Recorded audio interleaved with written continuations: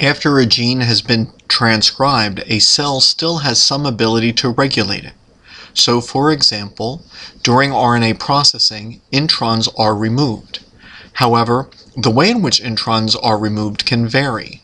There is alternate splicing that can occur, where different cells or cells at different times may join different exons together, and therefore the mRNA which results will vary, and thus the protein which is made from this mRNA can vary.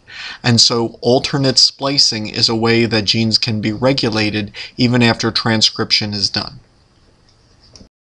There are other ways that genes may be regulated even after transcription has been completed. Apparently, there are mechanisms where nucleotides may be changed through a process known as RNA editing, so that the nucleotide sequence is different from what was coded by the DNA. Also, there is a tight control over which mRNAs will leave the nucleus. It's estimated that maybe half of all of the mRNAs which are made will never leave the nucleus and thus never be converted into protein. And so, therefore, apparently additional signals are required before mRNAs may leave the nucleus and before translation can occur.